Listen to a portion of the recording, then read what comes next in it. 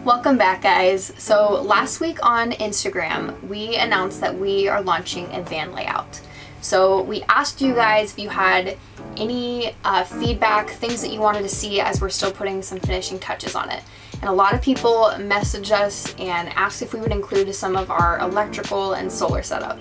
So that wasn't something that we were planning on including in our layout, but we still want to help you guys with that information, so we decided to sit down today and talk about everything electrical and solar.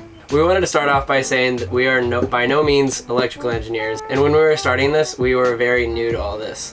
So we wanted to make this video for those newbies who are just now starting to plan out a van or start building out a van. For those of you that may be electrical engineers, please go easy on us because our terminology might not be perfect, but we're basically just explaining things from our beginner perspective. Yeah. So let's just dive right into it.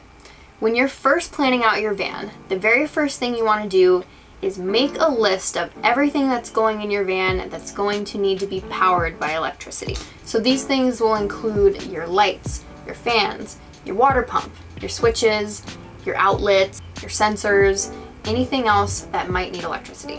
So once you've made that list of everything that's going in the van and needs to be powered, you need to determine if it is 12 volt or 120 volt. So let's talk about the difference between 120 volts and 12 volts. When we're talking about 12 volts, we're talking about DC, also known as direct current.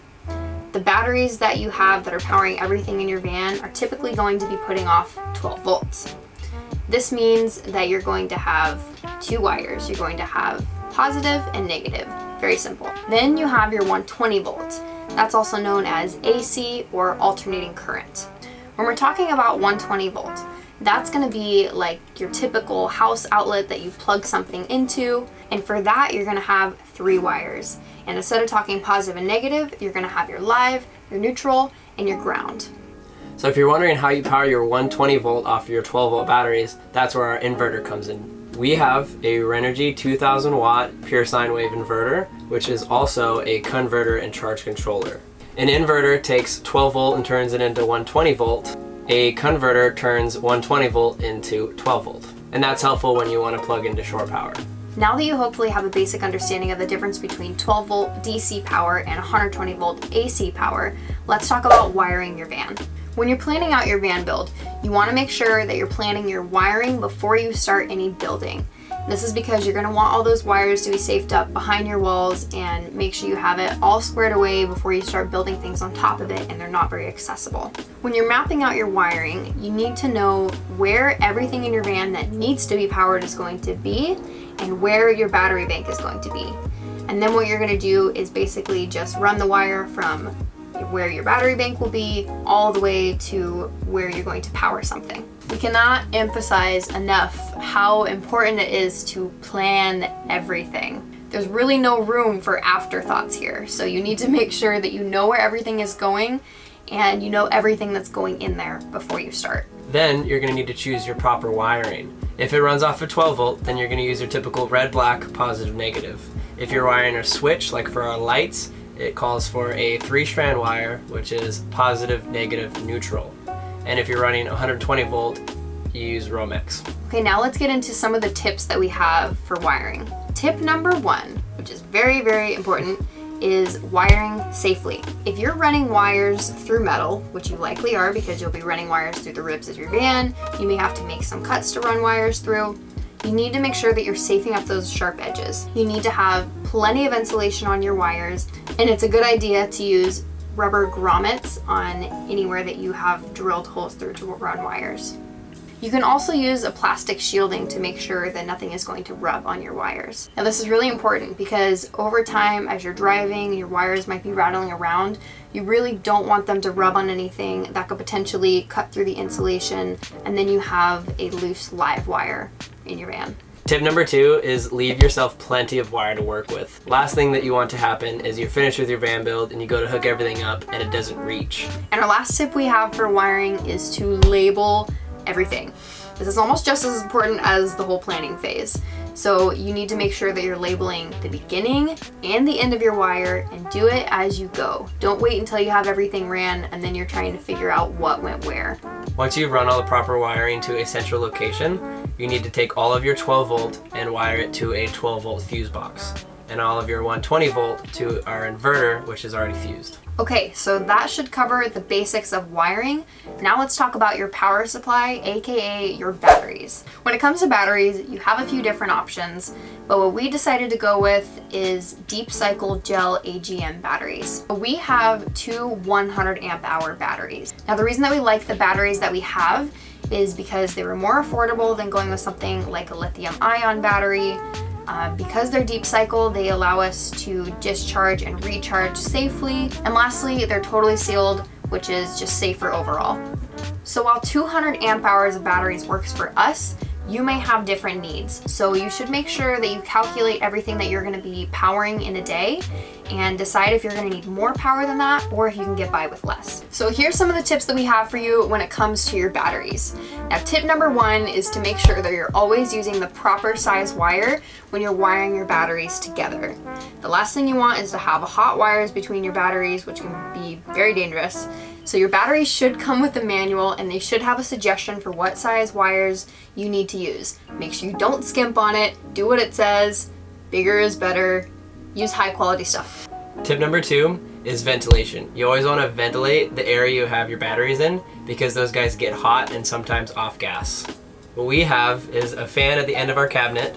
Um, within our benches and our cabinets is all open and since we have a computer fan at the end of it, it pulls air from our benches over our batteries and out underneath our refrigerator, out the bottom of the van. The last tip that we have for you guys is super important, and that is to always make sure that you have multiple ways to recharge your batteries. Which also brings us to our next point. So let's talk about the different ways you can charge your batteries. One of the most popular ways to charge your batteries in a van is a solar setup. What solar does is harnesses the energy of the sun and dumps it into our batteries. We have two 100 watt monocrystalline solar panels and in between our solar panels and our batteries we have a solar controller. We have a Renogy Rover 40 amp MPPT charge controller. What that does is when our solar panels are charging our batteries, if our batteries get full, it dumps the excess energy so it doesn't hurt our batteries. So most of the time solar is a good option to continuously charge your batteries. But what if you go a few days without sun or even worse a few weeks, then you have nothing to charge your batteries. So that's why you want a few different options to charge if one of them fails. So one of the things you can do is actually use shore power. And what we mean by shore power is basically any external power, so plugging into a socket outside of the van. So this could be like on the side of the house, at a campsite where you can plug in, or wherever you can access power. This is where having the inverter and converter comes into play because you'll be plugging into 120 volts and you want to turn that into 12 volts to charge your battery. And that's exactly what a converter does. So in between your connection to 120 volt power to your batteries, you're going to want to make sure that you have that on a breaker. So a breaker is essentially just the 120 volt version of a fuse.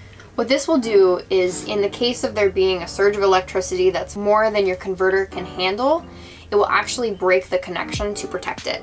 It's just an added layer of protection to make sure that you don't fry anything. We actually happen to have two breakers. If you watched our van tour, you may have noticed that we actually have an AC unit in here. So we have our AC unit completely separate from our inverter converter and that is on its own breaker. So that means that our AC unit can only be powered off of our shore power. Luckily, we don't need to use it very often, but it's a good option because we do have family in Arizona so that we can visit during the hot months. Being able to plug into shore power is great if you're in a city or maybe you're paying for a campsite, but we don't pay for campsites all that often and it's not always easy to find power for free.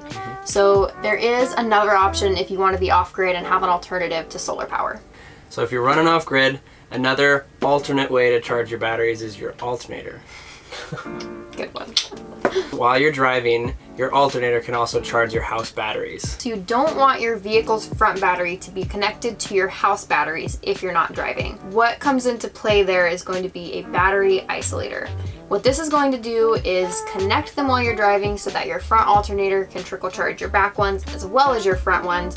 And then when you turn your vehicle off, it's actually going to disconnect those. So then the goal there is to keep the front battery fully charged and then you're powering everything inside your van just on these back batteries. So now let's get into our tips for charging. Tip number one for whatever you're using, whether that be your solar or your alternator or anything, is that you wanna make sure that everything is fused properly. So for our solar controller, there is an inline fuse. For our alternator, there's also a fuse. And even for our shore power, we have the breakers. So that's really important because you don't want to send too much electricity to something that can't handle it. We don't want to be frying anything. Tip number two is to figure out what is going to work best for you. We have 200 watts worth of solar on our roof and that powers everything that we need. Depending on what you need, that might you might need more solar than us or you might need less. So take some time to figure out what you have and what you need to power everything sufficiently. The last tip that we have for you guys is going to sound a little silly, just bear with us. Read manuals. Okay, the reason that we say this is because there's little things that you might not think of that can actually have a big impact if you don't go through the whole manual and figure out how to do things properly. Mm-hmm. So for example, when you're wiring up your solar, there's a certain order that you need to do it. Mm-hmm. You can't just plug everything together and have it be a-okay because it could actually damage something. Mm-hmm. So pretty much everything you're going to buy, as long as you're buying it new, will come with a manual. So take the time to read it. Make sure you do it properly because you don't want to spend money on something and then ruin it and then have to buy it all over again. That would totally suck. Okay guys, so we have covered the difference between 12 volt, 120 volt. We've talked about mapping your wires, how to wire um, your power supply, and how you're to charge that power supply. So hopefully that information has given you at least somewhere to start. If you felt totally clueless about electrical and powering your things inside your van before you watch this video, hopefully you feel a little bit more informed now. It's a lot of it's a lot of info. It's daunting, but you can do it. You can definitely do it because yeah. we didn't know we were doing yeah. it beforehand. If we can do it, you can do it. Definitely. Now, the other thing is that we didn't show you specifically how to wire things, but there's so many videos and resources on the internet that you definitely should utilize. There's no point in me sitting here and showing you how to do that because there's a million other videos that can show you how to do that. Lots more qualified people that can explain it probably a lot better than we can. Definitely. Yeah. So I hope you guys enjoyed this sort of beginner's perspective of um, doing all of your electricity in your van. As always, thanks for watching guys. Don't forget to like, comment, and subscribe. And tell us what you think was the most helpful tip. Yes. We'll see you guys later.